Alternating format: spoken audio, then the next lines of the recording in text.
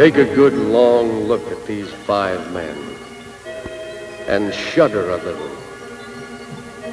Four of them are exactly what they appear to be engineers, professional engineers, methodical men. The fifth is an engineer, too, and he is a methodical man. Innocuous looking lot, aren't they? One of these men is also a cold, calculating, methodical killer. One man. Would you like to make your selection now? This pleasant looking gentleman? Or does he have a shifty eye? This debonair fellow? Or is that a cruel mouth? This fatherly man? Seems unduly nervous, doesn't he? Not a clue really in these faces, is there? They might even be your neighbors. Is one of your neighbors a killer? One of these men is. Perhaps you can put the finger on him. Listen now, closely, and catch a killer. So it's obvious our research on the subject of the compact automobile and of the engine to power it is perfectly clear. Chevrolet and General Motors have now given us complete freedom to create a totally new kind of car, a new kind of automobile for introduction in 1960. A compact, economical car, entirely different, unconventional. And so a far-sighted plan that had its beginnings in a research program that started some nine years ago moved into high gear in absolute secrecy. These men will be in the forefront continuously, day and night. Five professional engineers. One of them, a killer. So, behind locked doors, each of the five engineers is free to design as he thinks best. But how do you get economy in an automobile? Economy of first cost and economy of operation. Well, the easy way to do it is merely to design a sawed off, cut down, squeezed in version of a conventional car. And what you come up with is a car that looks and acts like a sawed off, cut down, squeezed in version of a conventional car. You don't even have a good compromise, for you get a little economy at the expense of everything else that makes cars useful, comfortable, and practical. But the way to get true economy, when you have enough advance time, all the resources you need, and the know-how to do it right, is to design from the ground up, specifically for economy. For real economy, you know at the outset that the car must weigh much less, perhaps only about half as much as conventional cars. Well, you can't cut down the size of people, so you design the passenger compartment so the passengers, all six of them, will have headroom, legroom, and hip room sufficient for full comfort. And right away, you're plagued with the distribution of the weight, because only with the weight distributed properly on the front and rear wheels will your compact car have the handling ease and roadability Americans need under all conditions of load and road. And right here, all your years of exhaustive, painstaking research show you that what's right for the conventional automobile is not right for the compact automobile. What you want is the very best handling, roadability, and ride at all times when the driver is alone in the car or when the car is fully loaded. And you want the car to respond safely and surely to its brakes, also, no matter what the load. And even if you have to swerve with the brakes on hard. Uh, to do all that, you must design for as little change as possible in weight distribution, front and rear, between driver only and fully loaded. Cars can be designed to carry more weight on their front wheels or more on their rear wheels. What counts is the change from driver only to fully loaded. Let's consider a conventional car. With the driver only, 51% of the weight is on the front wheels, 49% on the rear. When you add five passengers and luggage, 55% of the weight is now on the rear wheels, 45% on the front. That means a 6% change in weight location front to rear. On this long wheelbase car, the change in handling and ride is barely noticeable. Now, let's consider a conventionally designed compact car, smaller and shorter, with a heavy engine up front. With driver alone, only 45% of the weight is on the rear wheels. With driver alone, the car tends toward nose heavy. Now, add five passengers and luggage. 53% of the weight is on the rear wheels. So your front engine compact car has shifted from nose heavy to tail heavy, an 8% shift of weight. That, because of the short wheelbase, makes a big difference in ride and handling, in comfort and peace of mind. Now, the rear engine compact car. The key is the weight of the engine. It must be light. To meet American needs, it must be powerful. If it were made of iron, it would be too heavy. With driver alone, the rear engine compact car has 61% of its weight on its rear wheels. With passengers and luggage, rear wheel load drops to 58%. Thus, the all-important change in weight distribution is only 3% for the properly designed rear engine compact car, the least change of any design. And look at the tremendous advantages of a rear engine car a virtually flat floor, and completely independent springing of all four wheels. Quadraflex suspension, the ultimate in compact car ride. So the outline of the new car is finally determined. But this is an unborn car, a paper car. But a paper car won't sell. So five engineers huddle again. Five engineers. One a killer, impatient to strike. First, a dummy engine of wood, of a different shape than a conventional automobile engine, to fit its location in the rear of the car, is built to exact size to check accessibility of parts and ease of service. The fundamentals are finalized, a radical departure from conventional automotive design thoroughly proved in thousands of light airplanes, what the engineers call a horizontally opposed six-cylinder engine. But it's a long time from wood to precision-made metal, with all the parts made by hand because they're all new. So time races along before specialists start the painstaking hand fitting of the handmade parts.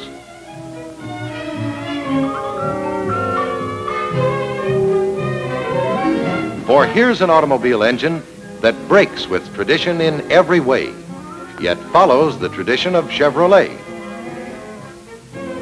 An air-cooled aluminum engine for featherweight that requires no radiator, water cooling system, or antifreeze. With iron where iron is needed, steel where steel is needed. With the newest improved principles and the oldest in fundamentals.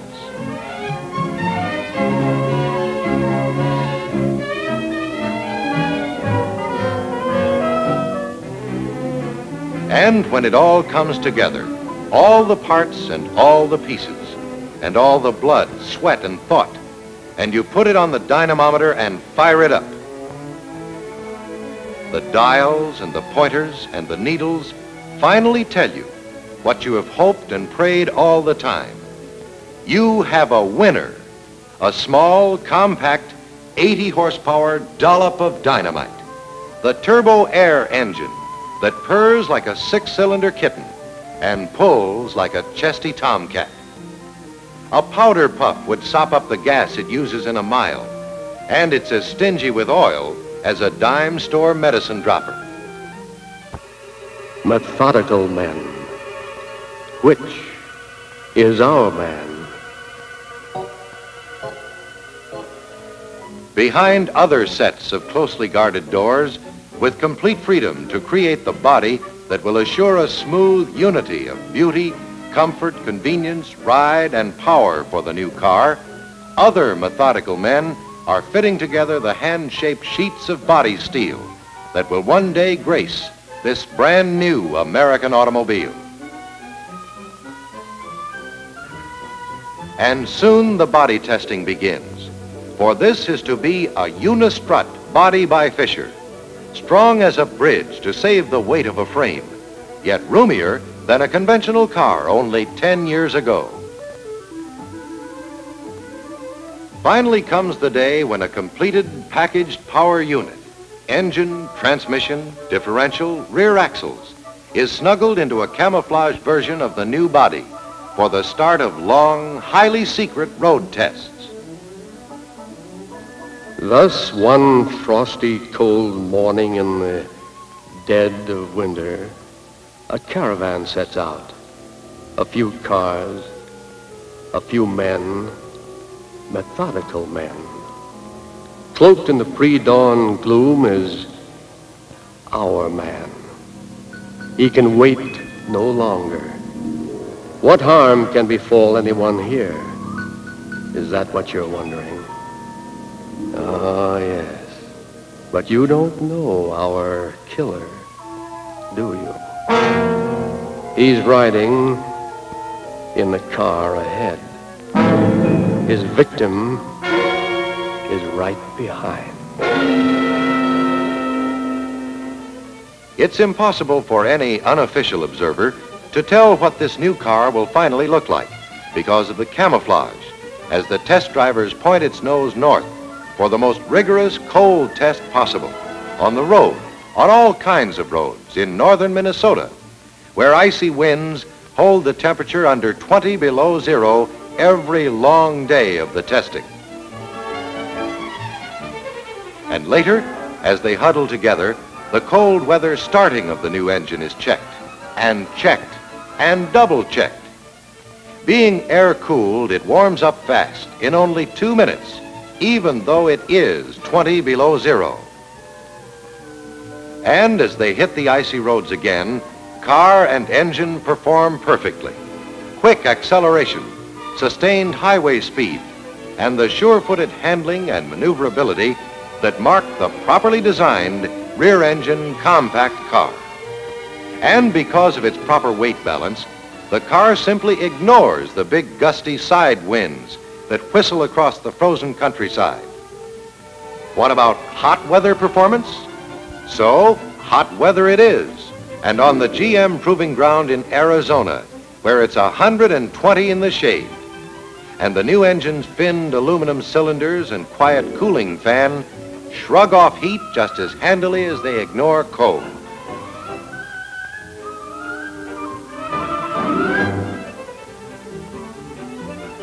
And what about hills?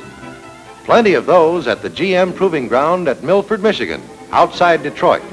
And up she goes with all the pep and zest of her big sister. In fact, here's a car with amazing performance. Shake and roll over the killing Belgian road. Pound and thump over solid concrete blocks. All the while, the road test miles mount up, month after month, night and day. More than a lifetime of grueling torture every inch of the way. For this is to be the most tested and proved automobile ever offered the American public. These are roads that try cars' souls, and drivers too. And still she rolls on. And now, you must meet the killer. The man Chevrolet General Manager E.N. Cole put in charge. Corvair project engineer Kai Hansen. I'm afraid I must admit I am a killer. My job is to methodically drive cars to death, to be sure of their safety, to be sure of their durability and long life, to be sure to deliver every dollar's worth of value people expect from Chevrolet. But Corvair is a new car. We couldn't drive it to death, and we tried, believe me. At one time, we were pounding 15 Corvair test cars over all kinds of roads, more than a half a million test miles. Corvair is the most tested and proved compact car ever introduced. I am proud that I failed as a killer. And so, proved to the nth degree, the new engine goes into production in a plant at Tonawanda, New York, to be economically near the huge aluminum plant that will supply the magic metal for this great new engine. In fact, the brand new engine foundry is so near the aluminum plant that it gets its aluminum hot from the furnace, ready to pour. Parts come together now in a stream, and instead of a single engine methodically hand-built, there are now endless hundreds.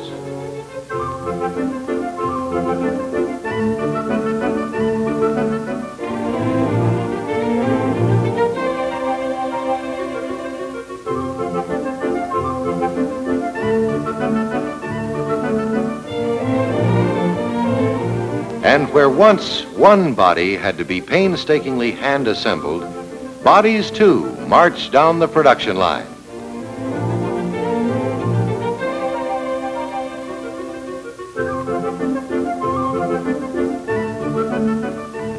The body now gets sound deadening material for the quietest compact car ride on the road. And then the miracle of modern final assembly where front suspension and rear end power unit join body at precisely the right instant. And so, you might say, a car, a car of a lifetime is born, of blue-blooded lineage, into one of the oldest automobile families, a car with everything except high cost and high upkeep, a car stingy with dollars, but extravagant with pep, comfort, ease of handling, and plain old-fashioned fun. And a car whose dealers will be fully stocked with parts, coast to coast, from the very day of its announcement. And a brand new car, proudly wearing a brand new name, rolls out of a brand new plant.